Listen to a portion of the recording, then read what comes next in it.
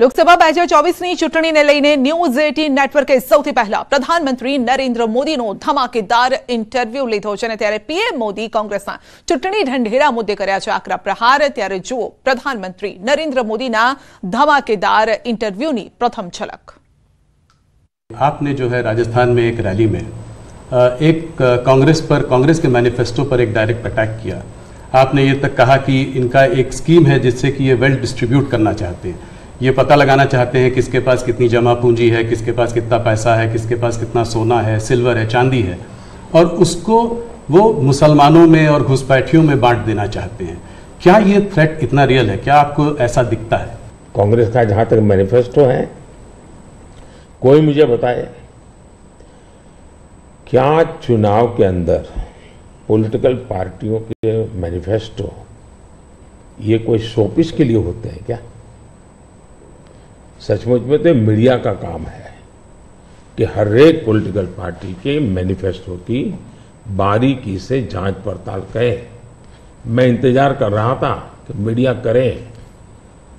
पहले दिन मैंने एक कमेंट तो कर दिया था। जी। मैं कोई आज कर नहीं रहा। जी कि भाई मुझे मैनिफेस्टो देख करके लगता है कि इस पर पूरी तरह मुस्लिम लीग की छाप है।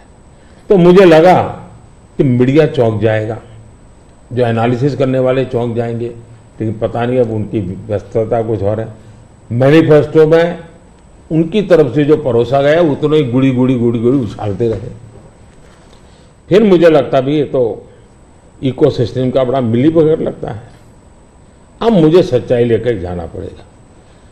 मैंने काफ़ी दस दिन इंतज़ार किया कि देश इस मैनिफेस्टो में जो बुराइयाँ हैं, उसको कोई न कोई क्योंकि निष्पक्ष तरीके से आता है तो अच्छा है। 2006 का एक वीडियो जो वायरल हो रहा है जिसमें मनमोहन सिंह जी ने कहा है कि गरीब गरीब लोग गरीब मुसलमानों का पहला अधिकार रिसोर्सेज पर है। ये उन्होंने साफ़ कहा है। आपने उसको मैनिफेस्टो में भी ये बात पॉइंट आउट की है कि ओबीसी का ओबीसी रिजर्वेशन का जो है पार्ट लेकर वो मुसलमानों को दे देना चाहेंगे और 2004 से 2014 के बीच में उन्होंने चार पाँच बार ऐसा करने की कोशिश की भी है। अरे भाई ये तो बड़ा इंटरेस्टिंग सवाल आपने पूछा है। जरा मेरा जवाब लंबा हो जाएगा लेकिन देश के लिए मुझे बताना पड़ेगा। बताइए। आप कांग्रेस का इतिहास देख लीजिए। नब्बे के दशक से ये मांग उठी है देश में। समाज का एक बहुत बड़ा तबका है जिसको लगता था कि हमारे लिए कुछ होना चाहिए। उसके लिए आंदोलन हुए हैं। नब्बे से पहले कांग्रेस ने पूरी तरह इस बात को खारिज कर दिया, उसका विरोध किया, उसको दबाने की कोशिश की है। यानी नब्बे के पहले का उनका दशक है। फिर उनको जितनी भी कमीशन बने, जितनी कमेटियाँ बनाई, उसके भी रिपोर्ट्स ओबीसी के विचार के पक्ष में आने लगे। अब उनके सिफारसों को भी वो नकारते रहे, रिजेक्ट करते रहे, दबाते रहे। नब्बे के दशक में उनको लगा कि भाई अब इसको जरा उनकी वोट बैंक की राजनीति के अनुसार उसको टन दिया जाए। उन्होंने पहला पाप किया क्या? नाइन्टीज के दशक में कर्नाटका में उन्होंने धर्म के आधार पर, आपको याद होगा, कर्नाटका में उन्होंने धर्म के आधार पर मुसलमानों को ओबीसी घोषित कर दिया। यानी देश के ओबीसी को नकारना उस विचार को दबाना, उस विचार को रिजेक्ट करना। लेकिन राजनीति खातर मुसलमानों को ओबीसी घोषित कर देना। केंद्र से कांग्रेस गई। 2004 तक ये प्लान ठप रहा। उनका इरादा पक्का नहीं हुआ। 2004 में वो फिर आए। तो आते ही आंध्र में मुस्लिम को ओबीसी कोटा ये देना तय कर लिया। मामला कोर्ट में जाके उलझ गया।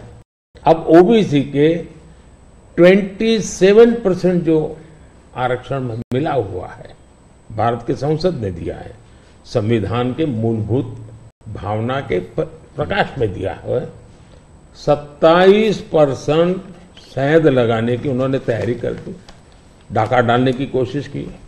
2006 में नेशनल डेवलपमेंट काउंसिल की मीटिंग हुई थी, एनडीसी की। मनमोहन जी ने बयान पर बहुत बड़ा हंगामा हो गया। दो साल कांग्रेस पूरी चुप रही। 2009 के घोषणा पत्र में फिर से इसका ज़िक्र किया। 2011 में कैबिनेट नोट है इसका। 2011 के कैबिनेट नोट में ओबीसी के 27 परसेंट हिस्सा डाका डाल करके उसमें से मुसलमानों को दे देना उन्होंने तय किया जी। 2012 यूपी चुनाव में भी उन्होंने इसकी एक असफल कोशिश की, फ़ायदा नहीं हुआ। 2012 आंध्र हाईकोर्ट ने इसको रिजेक्ट कर दिया, रद्द कर दिया, कानूनी जजमेंट आ गया। एससी में गए, सुप्रीम कोर्ट में गए, वहाँ भी उनको कोई रिलीफ नहीं मिला। 2014 के घोषणा पत्र में भी धर्म के आधार पर आरक्षण की बात कही है। जबकि हिंदुस्तान का संविधान जब बना, तब तो कोई आरएसएस वाले, बीजेपी वाले संविधान सभा में नहीं थे। बाबा साहब आम्बेडकर जैसे लोग बैठे थे, पंडित नेहरू जैसे बैठे थे, सरदार वल्लभ भाई बैठे थे, देश के कई महापुरुष बैठे थे। उन सबने लंबे चिंतन के बाद तय किया था कि भारत जैसे देश में धर्म के आधार पर आरक्षण नहीं दिया जा सकता। 2024 के चुनाव में आप देख रहे हैं, उनका मैनिफेस्टो और मैंने कहा, इस पर पूरी तरह मुस्लिम लीग की छाप है। यानी मुस्लिम लीग ही नीतियाँ उन्होंने अपना शुरू किया। अब ये जो उन्होंने स्थितियाँ बनाई हैं, मुझे बताइए कि देश के लोगों को ये जिस प्रकार से संविधान की धज्जी उड़ा रहे हैं, जिस प्रकार से लोग बाबा साहब आम्बेडकर को अपमानित करते हैं एससी, एसटी के आरक्षण पर भी खतरा, तलवार लटका देते हैं। ओबीसी का तो जीना मुश्किल कर देंगे। क्या मुझे देश की जनता को प्रशिक्षित करना चाहिए कि नहीं करना चाहिए?